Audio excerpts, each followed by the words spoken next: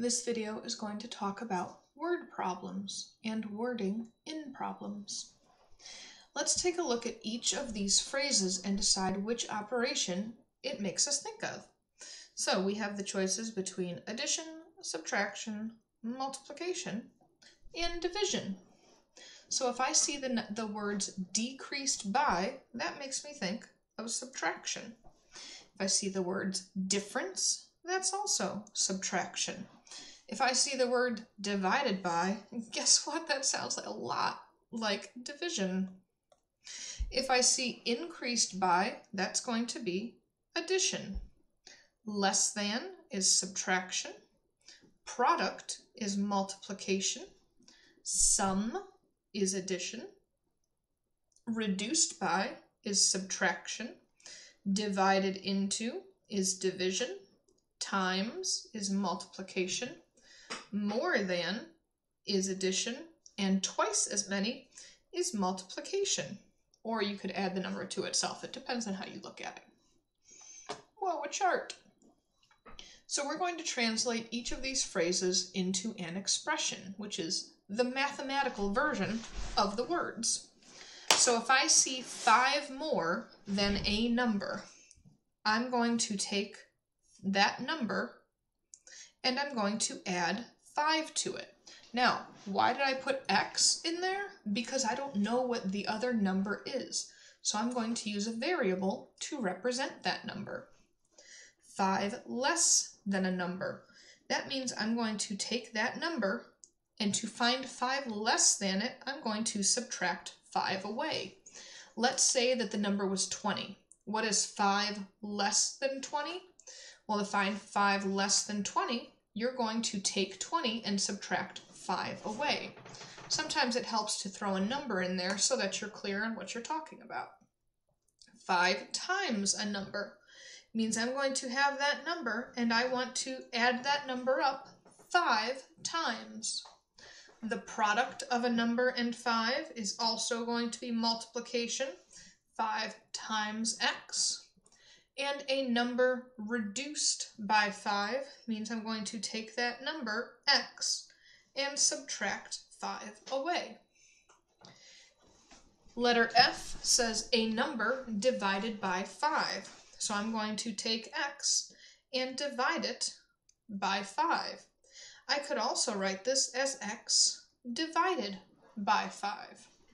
If I wanted to do it in long division, I could write it that way as well. That's a 5.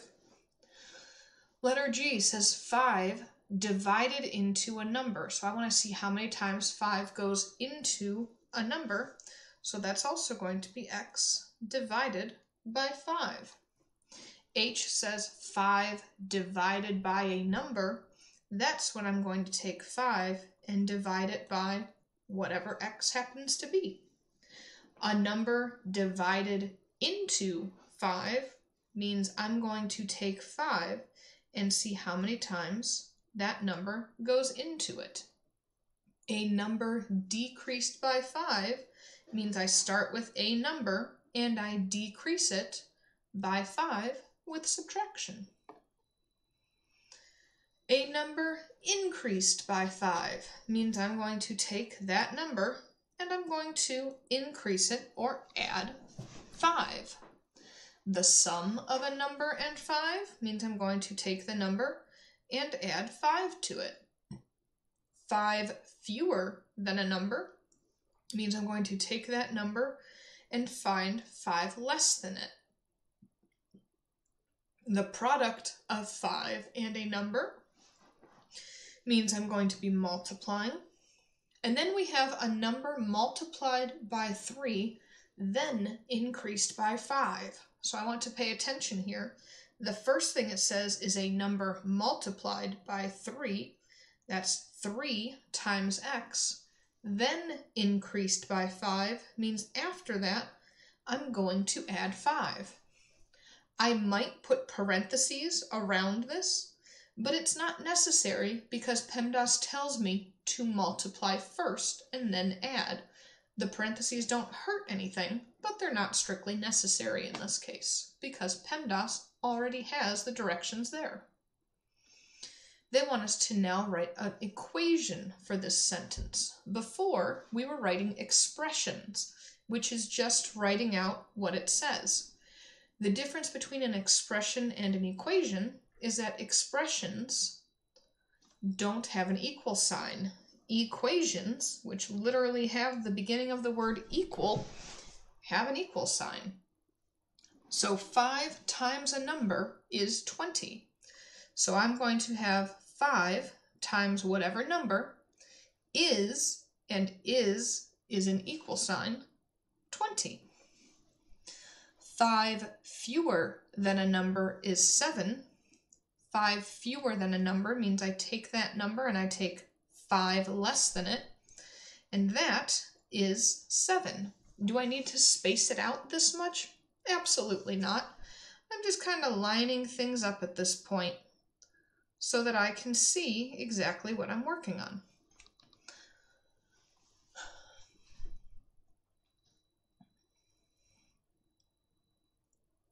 Let's take a look at some of these exercises. This is where we're actually going to talk about the word problems. Katie has 10 stickers. She has three fewer stickers than Laura. How many stickers does Laura have? So to figure out how many stickers Laura has, we know that Katie has 10. Good for Katie and her 10 stickers. We know that she has three fewer stickers than Laura. So you're going to take the number of stickers Laura has and subtract 3. That's the same thing as saying the number of stickers that Katie has. So to figure out how many stickers Laura has, you want to add 3. I did not leave enough room here. You want to add 3 to both sides, and x is going to equal 13, which means Laura has 13 stickers. Does that make sense? Let's check the word problem.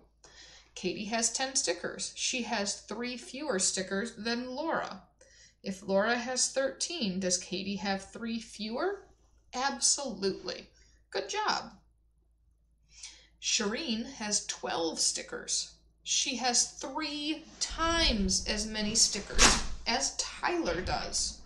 So we want to know how many stickers does Tyler have? So we know that Shireen has 12. And we know that Shireen's 12 is three times as many stickers as Tyler. So 12 and three times Tyler's amount of stickers are the same amounts. How do we figure out how many stickers Tyler has? Well, we undo this, this equation. And because we're multiplying 3 times x, then we divide. So we know that x is 4. Does that make sense? Does Shireen having 12 stickers, is that is Tyler's 4 three times that? Well, we take Tyler's stickers, we multiply it by 3 to get Shireen's 12. Absolutely, even if I stuttered over the grammar a bit. Melissa has 12 stickers. She has three more stickers than Emmett. So we know that 12 is the same thing as saying three more than what the other person has. So to figure out how many stickers Emmett has, we're going to subtract 3 from both sides and know that Emmett's amount of stickers is 9. Melissa has 12. She has three more than nine of Emmett's stickers. Looks good. Henry has 12 stickers. He has half as many stickers as Russell does. How many stickers does Russell have? So if Henry has 12 stickers and Russell, I'm sorry, Henry has half as many as Russell, that means we take Russell's amount of stickers and we divide it by 2. So let's figure out what that is. In order to undo this division problem, we're going to multiply on both sides. So these are going to cancel out, just leave me with x. 12 times 2 is 24. Henry has 12 stickers. He has half as many stickers as Russell's 12 as Russell's 24. Sounds great. So they want us to solve these problems and then, well, it's going to be hard to have a discussion about how they're similar and different, but, you know, we'll keep going. Bilal has 20 stickers. He has five times as many as Omar. So 20 is the same as five times Omar's. Can you figure out how many stickers Omar has? Omar has four stickers because 20 is the same as 5 times the 4. Lily is 20 years old. She is 5 times older than Jacinta. How old is Jacinta? If Lily is 5 times as old as Jacinta, we're going to multiply these to figure out how old Jacinta is. You probably found that she is four. Lily is 20 years old. She is five times older than four. Trevor walked 20 kilometers. He walked five times further than Rebecca. How far did Rebecca walk? Well, if Trevor walked five times further than what Rebecca walked, in order to figure out how far Rebecca walked, you want to divide each side by 5. And you probably found that x equals 4. Did you notice that each of these problems had the same solution even though they were different situations? That's okay. You just have to pay attention to the wording and make sure that you are checking each time. Let's get some extra practice in here. Samuel runs 600 meters each day. He runs three laps each day. How long is each lap?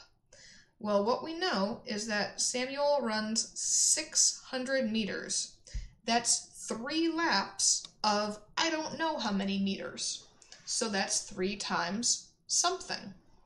Let's divide to figure out how many meters that is. 600 divided by 3 is 200. Each lap is 200 meters. Gabe runs 800 meters each day. He runs 40 more meters than Ahmed. How far does Ahmed run? Well, if he runs 40 more meters, that means we're going to, well, technically, we're going to take the number of meters that Ahmed runs, and we're going to add 40 to it. So to figure out how far Ahmed runs, you want to subtract the 40 from both sides to get 760 meters. That's still a lot of meters. Oh, Jane has $3 in coins, all dimes and quarters. What fun! She has 21 coins in all. How many of each coin does she have? The first thing that they want us to do is to write an expression for the number of dimes. So here's what we know.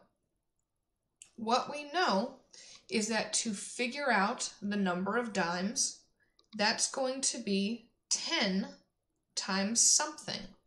Why is it 10 times something to show the number of dimes? Well, because each dime is worth 10 cents. They want us to write an expression for the value of the quarters in cents. Well, that's going to be 25 times y. Why 25? Because each quarter is worth 25 cents. Why the letter y instead of x? Well, this is all going to be in one problem. So we can't have x being dimes and quarters. It needs to be together. So they want to write an expression for the value of dimes in cents. The value of dimes in cents would end up being 10x. The expression for the number of dimes has to do with how much each dime is worth. that's as far as we're going to go into that problem today.